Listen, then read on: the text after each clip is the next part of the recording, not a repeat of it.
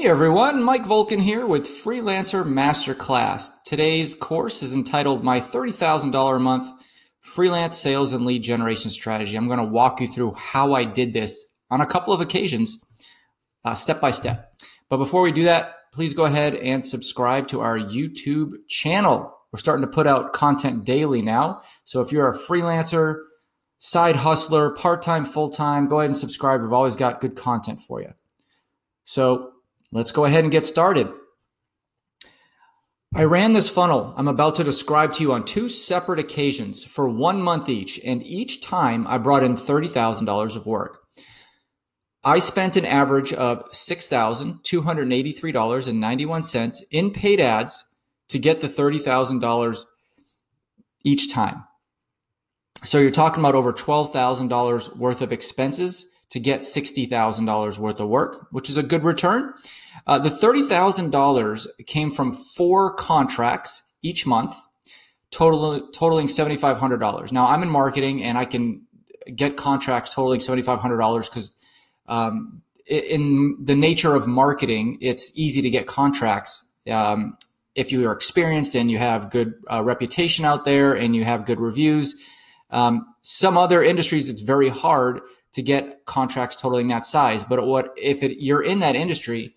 I want you to think what could get you larger contracts, contracts that size. Okay.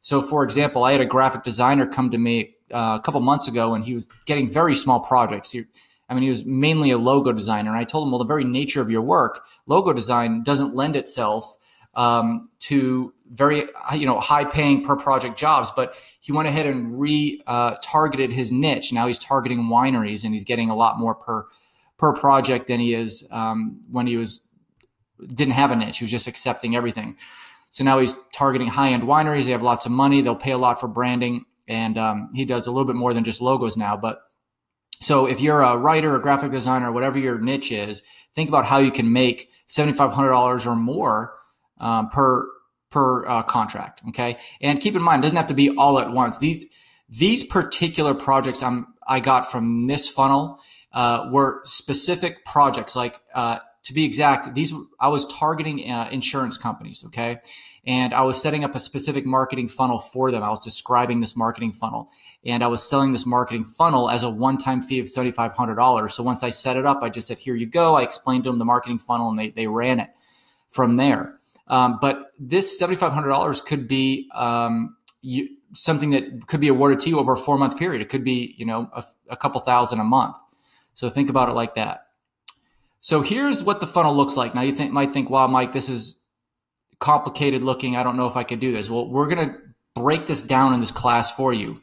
Okay. Now, the reason why I'm doing this class is because I get so upset when I see these gurus, internet gurus, I put in quote out there with these courses they're selling for thousands of dollars. I won't say any names, but it seems like there's a new one popping up every day and they, they sell these courses for thousands of dollars and they say they make tens of thousands of dollars a month. And it's just the most basic funnel. Uh, and this is basic. This is nothing complicated. There's no secret here that I invented. This is a basic marketing funnel. Now, the order in which this funnel is presented might be a, a bit unique, but it works and it's measurable. And um, I'm going to show you each and every component of this. First of all, this is the first part. Uh, let me bring up my, my tool here. Uh, there we go. So we're going to go, here's the funnel I just showed you right here, right?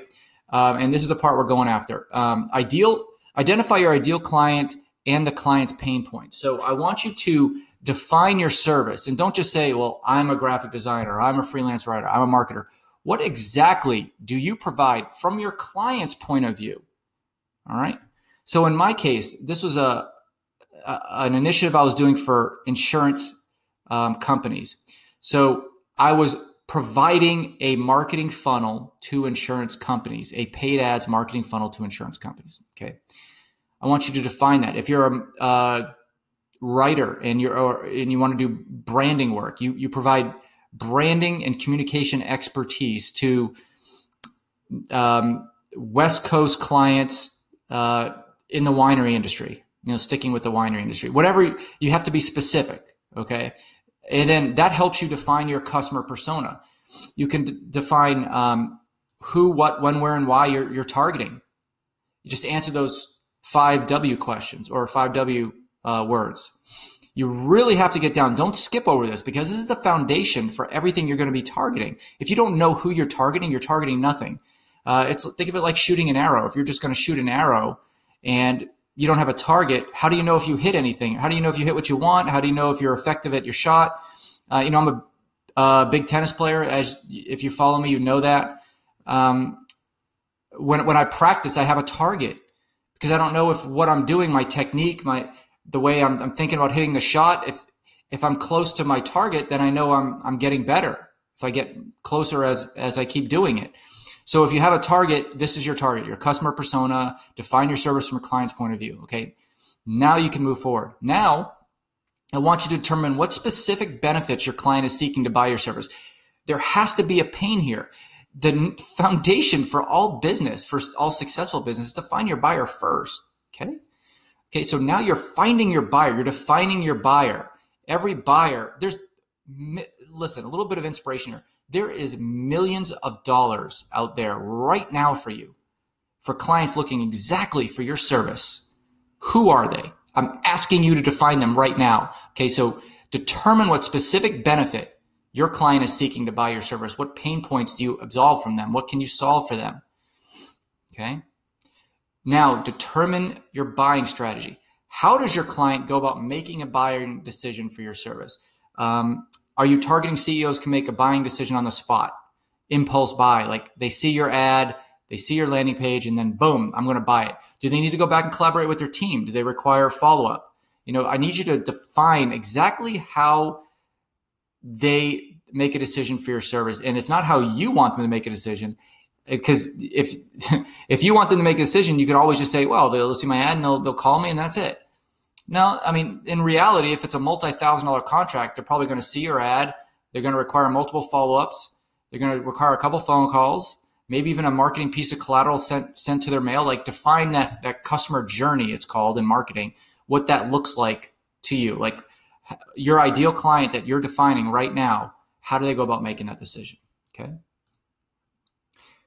Now we're talking about the second part of the ads. Let's choose a different color. Let's go yellow this time. So in this funnel up here that I showed in the second slide earlier, uh, we just did this. Okay. Now we're going to do this Facebook and Google ads. Okay. I recommend you hire an expert to get you up and running, um, at least to get the campaign structure set up and all the settings correct.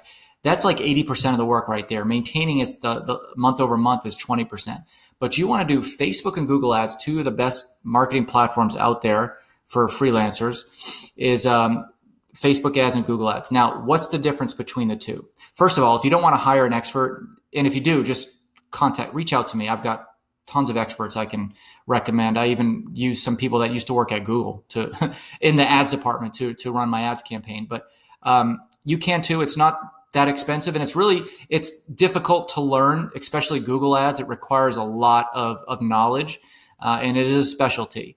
Facebook ads are a lot easier but they still require some work because you could really mess some things up. But if you want to learn on your own google ads and facebook ads right here these links um, some really good courses in there by the actual platform. So it's by google and by facebook. Now what's the difference between google and facebook ads Okay, the biggest difference is when somebody searches on Google, they're showing search intent. Like, I need a marketing strategist, for example. I need a logo designer.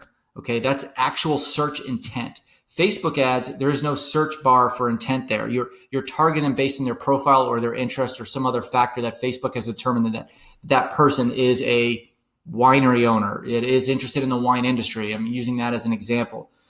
So I generally like to use Facebook ads a different way than Google, and I'll explain that here when I talk about retargeting. Uh, but what you want to do is you want to get a Facebook and Google ads campaign set up and put most of your ads budget towards Google, about 80%. Okay, 20% here. So if you have, let's just say $1,000 to spend, and you don't have to spend the 6000 I spend, spend $1,000 here um, total Okay, so 80% of that, $800 would go into Google ads and $200 would go into Facebook ads. All right. Now, the next part, let's um, go back a little bit. We're talking about lead page with lead magnet qualification form. We're at this part of the funnel right now. lead page. So we just talked about this, we talked about this, and now we're doing this. Okay. Lead page with lead magnet qualification form. I'm not talking about a big expensive website. This is a lead, I'm sorry, this is a landing page. One page. No nav bar. There's no navigation bar at the top that can drive traffic away or get them distracted about a home page or an about us page, nothing like that. This particular landing page is about somebody selling private English lessons. And this is a good example of a landing page. You can copy this layout. Okay, this wasn't the exact layout I used, but it was very, very similar. Okay, this person selling private English lessons, so they have um, it's kind of a weak title actually. You could could improve on that, but it basically states exactly what you're solving, like what you're. This person was targeting people who need English lessons. So the very top of the page tells you exactly what they do, and then they give you a little bit more of a description there and there. I guess that would be a value proposition. It would be get professional instruction from an expert English tutor near you, K 12 through college. Okay. Um, you always want a picture up here. It shows human interest, a picture of humans. I see a lot of landing pages with like crazy designs and it's like a motorcycle or something if they're doing something in the automobile industry or a glass of wine if it's a wine industry. Images with human interest get are, are more clickable. Okay. I'm a neuromarketer. I'll tell you that's a fact. Okay. You want to show human interest. Stay away from stock photos as a stock photo. But if you if you have a unique photo that's a good uh, unique to your company, then even better. But if you have to use a stock photo, see if you can alter it a little bit to make it unique to you. Okay. And then here's a big thing. You want that lead qualification form. This is the, the qualification form. Okay. Getting started is easy. Now, this is not something I would recommend. That the box is okay. Collecting information is okay, but this is for people who are ready to sign up right now. I mean, this is like an impulse buy. I recommend a middle portion here. So a person is interested in your product, in your ad, they see it, and this this website assumes that you're ready to buy right here. I suggest you put something here, uh, usually some kind of ebook, some kind of something to get them to the next step to show them that you're an expert at what you do. Okay. And then there's a validation of some media right here. Um, I wouldn't fake this if you don't have this and don't do it. But I, I, I do this because I've been in this many years and I've gotten lots of media over the years. I've been over uh, on 80 different radio shows, TV, all, all that stuff. Um, you can get mentioned. I guarantee you this person didn't have any kind of feature at the Wall Street Journal, any kind of feature at Fox. These are just press releases they paid for and it got put on some obscure page that nobody saw.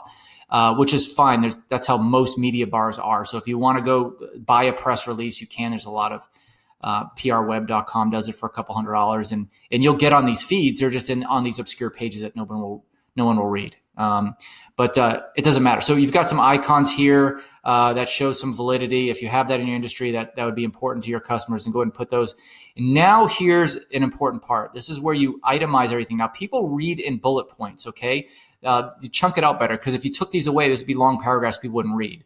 But um, so now you're telling them, hey, why do you want this? Here's the solutions I, I offer, and um, you know you you could take certified, you could take lessons from certified teachers. There's a satisfaction guarantee. What you're doing is you're minimizing their objections. So what you want to do in this case is write down three to five objections of people that, when they come to your site, they say, oh, well, this guy might not do this or might not have that, and um, that's why you're going to take your top three to five questions or objections that any uh, prospect would have, and you would solve those in these checkpoints here. Okay. And that's it. I mean, there should be very little to no scrolling. They shouldn't have to scroll up and down to see this information.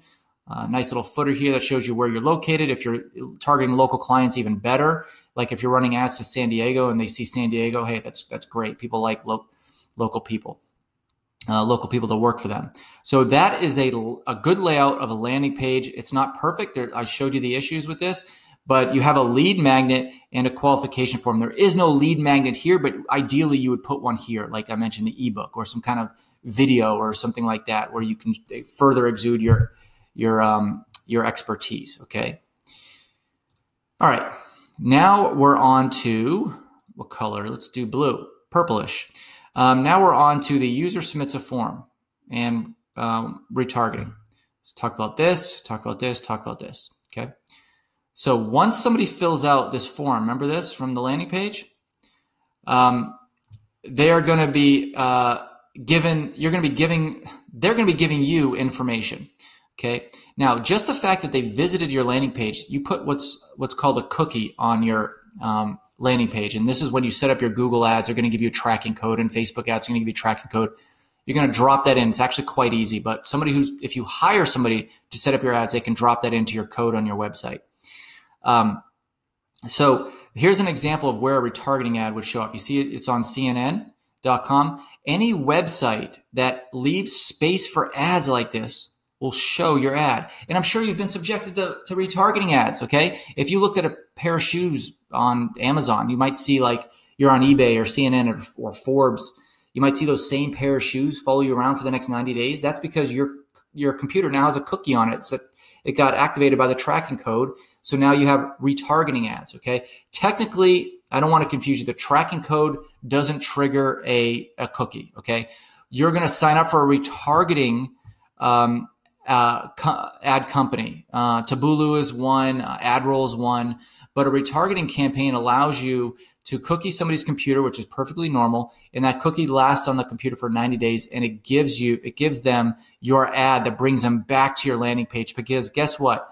They click on your ad, they go to your landing page. Realistically, 95% of people, if not more, are just going to leave and not fill out this form. You want them to fill out this form. 5% or less will, but the retargeting ad brings back that 95% because what you're doing here on this landing page is you're getting people to submit their information if the timing is right. Most of the time, the timing is not right. So that's what a retargeting campaign does is it brings back traffic when the timing is right over the next three months. Okay. Now we're getting into the end of the funnel here. Now the user has submitted their information. We talked about this, this, this, and this. Now we're going to be finishing up with this. So now the, the client submitted their info. At this point, they're technically a prospect, but we're going to call them a client here. Now we're going to give them a three part drip email campaign. You could do this pretty easily and for free with MailChimp. There's any really mass mail program uh, can do this. A drip email is a sequence of emails. I like to do one a day over the next three days, even five days. However, that automatically sends them email. The first email they get right away that says, Hey, thanks for subscribing. Here's your ebook or whatever your lead magnet is. The second one is, Hey, hope you read our ebook. Here's another piece of value for you. Don't forget, I'm here for insert solution here. I'm here for your logo design of your winery project or whatever. And then the final one is, you know, again, always ask for that call, but hey, can we hop on that call? Is Tuesdays a, a good day? Is 48 hours from now good? Whatever. That final email uh, should be, hey, this is my last email to you. Uh, hope you enjoyed the ebook and whatever other value you, dro- you drove to them. Would you mind if I called you on this day or, or let's set up a meeting? So it happens automatically. So if you're starting to get 20 or 30 leads a day, you don't have to keep doing this manually. Okay. And again, MailChimp has something like this. All right. So I hope you learned a lot about this, um, about how to drive traffic, very targeted traffic to a very targeted solution to a very targeted problem that your prospect has. This will bring in money if you set it up right. Okay. Good luck.